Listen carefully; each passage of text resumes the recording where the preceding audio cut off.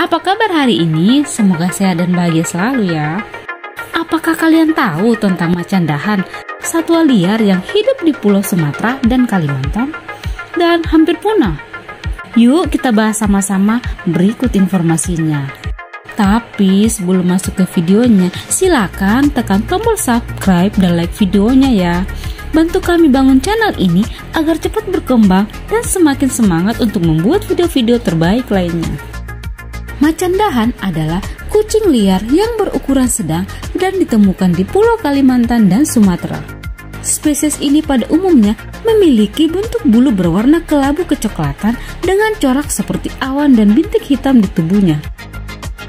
Bintik hitam di kepalanya berukuran lebih kecil dan terdapat total putih di belakang telinga.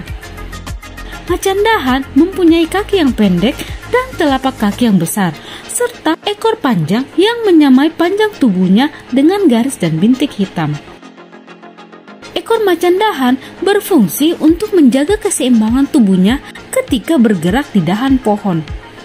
Macan dahan dewasa memiliki berat tubuh sekitar 15-30 kg dengan panjang sekitar 123-200 cm. Macan dahan ini merupakan predator terbesar di Kalimantan.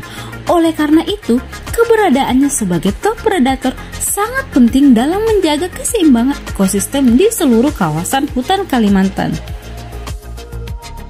Macan dahan hidup di hutan tropis dan memiliki kemampuan yang baik dalam memanjat pohon dan melompat di antara pepohonan. Pohon digunakannya sebagai tempat untuk tidur dan terkadang juga sebagai tempat untuk berburu mangsa. Macan dahan masuk dalam kategori hewan yang dilindungi.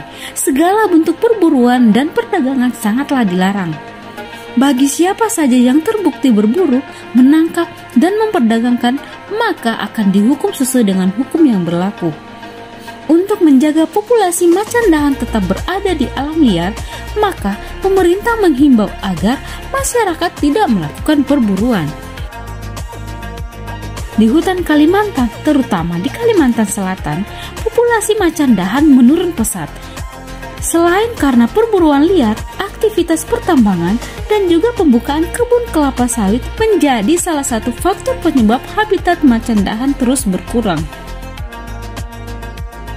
Oleh sebab itu, mari kita tetap menjaga dan melestarikan alam kita agar satwa-satwa liar di dalamnya tidak punah.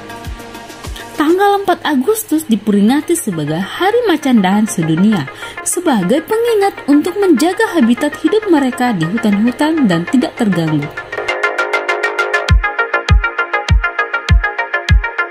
Dan cukup sekian untuk video kita hari ini. Jangan lupa tekan tombol subscribe dan like juga ya. Nyalakan loncengnya agar kalian dapat notifikasi tiap kami mengupload video-video terbaru lainnya. Terima kasih sudah menonton. Sampai jumpa.